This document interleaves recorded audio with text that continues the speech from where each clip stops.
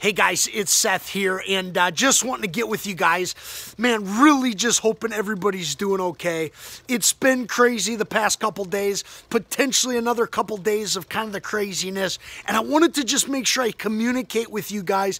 Man, if there is some needs of some kind, and, and if there's a way in which we can help, we want to know about it. So what I'm going to do is I'm actually going to uh, attach right below this video a form. Now, when you read that form, it says COVID relief. Um, but ultimately, without having to go remake another form, I'm just going to attach it here. And if you're all of a sudden finding yourself in some kind of need or unexpectedly now there's going to be a, a plumber, a finances for a plumber or something is involved and you're just not sure how you're going to be able to make that happen and all that kind of stuff, whatever the need might be, fill that form out. Let us know. When you fill that out, it'll actually shoot us an email so we can help as best as we possibly can. Okay, guys? We want to know about what's going on.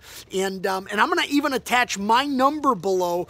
And so if, if you need to reach out to me directly, don't hesitate to do that, okay? I, ultimately, I wanted all of us to just know we're in this together. Like right now, it's actually not too bad out of field.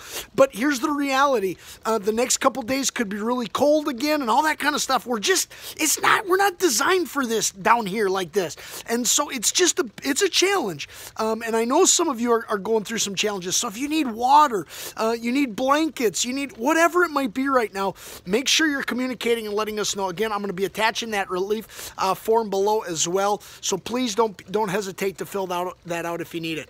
Um, the Lord bless you guys. I continue to pray for you guys, and uh, we're in this together, okay? The Lord bless you. Bye.